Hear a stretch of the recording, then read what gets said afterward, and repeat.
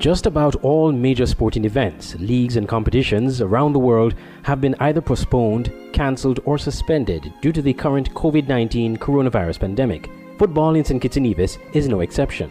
And even before the Federation recorded its first case of the coronavirus, the St. Kitts and Nevis Football Association, the SKNFA, took a decision to suspend all competition as it continues to monitor the current health crisis. But even though there is no football action ongoing, we would like to take some time to look at the performances of each team in the SKNFA's leading competition, the Premier League, to see how each of the 12 teams have performed thus far. At the time of the suspension, the league had already completed the first round of football and were two matches into round two. In a two round season, that's more than enough to assess the fortunes of the teams.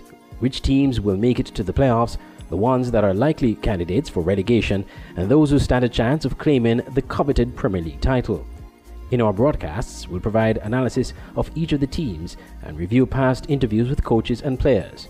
We'll start this report with a team that were crowned the most recent champions of the league and the current leaders in the point standings, Rams Village Superstars. Having won the 2018 Premier League title, Village were looking for a repeat and may have well been on their way to doing just that. They finished the regular season miles ahead of their nearest competitor and were primed to do well in the playoffs before the league was unfortunately suspended and eventually cancelled. They started this new season with a sense of purpose despite a sluggish start, brushing aside teams effortlessly and putting title contenders to the sword. The boys from West Basseterre were ready to retain their title, a motivation coach Stephen Clark speaks to in a post-match interview during round one of the season. Motivation can go different ways, as you see.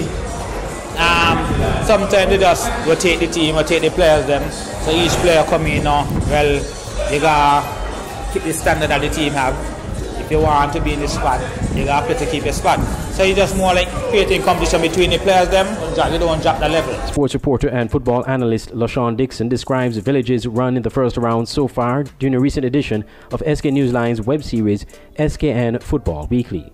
The form they have shown um, through periods of the season um, is is what um, you would want to be if you want to to to become to be um, in the championship talk come the end of the season. Um, they started hot, red hot. They were on 10 out of 10, 30 points from 30. They, they, they looked invincible. It seemed Village would be unstoppable this season after they defeated Flow 4GK and Rockets 1 0 in one of the most anticipated matches of the season. Up until that point, Keon were yet to lose a match. And he could become a hero winning the game. Here he is, he steps up and he goes at goal. Goalkeeper moving to his right. A lovely penalty all along the ground into the left hand corner.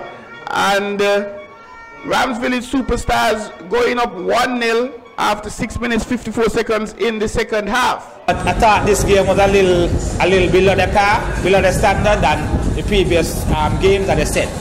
But luckily, we came out with a clean sheet. But then the tables began turning on Village. In another most recent encounter, Village took on their fierce rivals Sol Island Auto Supplies Conaree FC. These two teams have a competitive history, and this one would be no exception. But at that point, Village were dealing with a red-hot Conaree, who were yet to lose a match since the start of 2020. Conaree made sure that record stayed intact with a 2-1 win. Here's Conaree, getting behind the defense, could be a goal. It is. It's going to be a goal. Uh, yes, a. Beautiful goal indeed. A beautiful goal by Aaron. Absolutely beautiful. As, as Ack finds space in the back, as he was back and red, Ack Mitchell found himself in some space and the ball eventually was, was tapped into the back of the net um, and the goal line. It's two goals to nil to Soler and not to Conaree. Ramsbury superstars. And I, I, think they're shell shocked at this moment. a very good goal indeed. It was a good game, and I mean, we didn't get it right. I mean, we get a goal, but you know, we got the better team win.